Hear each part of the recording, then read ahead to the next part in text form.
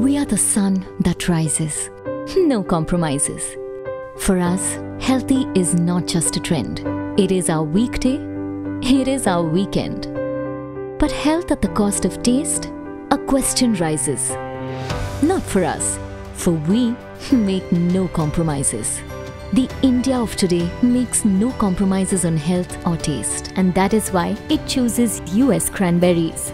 US cranberries, the taste of health.